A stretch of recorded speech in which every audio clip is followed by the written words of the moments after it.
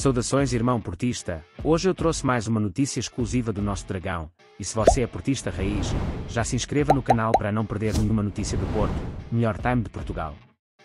Rocco Runge, Vasco Souza, Abranham Marcos e Vendel Silva foram convocados por Sérgio Conceição para o encontro desta noite com o Mafra e alimentam o sonho de acrescentar o seu nome à já extensa lista de jogadores que Sérgio Conceição estreou na equipa principal.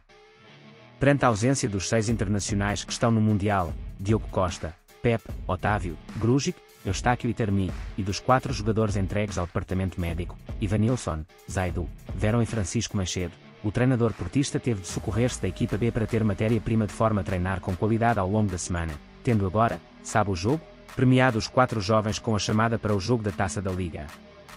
O guarda-redes, Rocco Runch, é o que terá menos hipóteses de cumprir o sonho de jogar visto que tem à sua frente Cláudio Ramos e Samuel Portugal. Como tal, deverá terminar a ver o jogo na bancada. Os outros três, contudo, têm boas possibilidades de ir ao banco. Isto porque do plantel principal sobram 19 jogadores, o que quer dizer que pelo menos um é certo que entre na ficha do jogo. Contudo, pode haver espaço para os três. Passamos a explicar, a quatro centrais, Marcano, Fábio Cardoso, David Carmo e João Marcelo, e o mais certo é Conceição abdicar de um, depois, a Fernando Andrade que esta temporada nem sequer foi opção contra o Anadia, equipa da Liga 3 que o FC Porto defrontou na Taça de Portugal.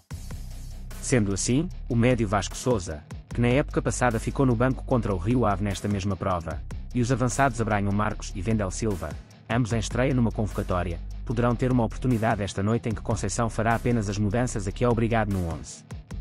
Bom esse foi o vídeo de hoje, qual os próximos defrontos? Quer saber sua opinião nos comentários? Deixe seu like e se inscreva no canal para não perder os próximos vídeos. Falou!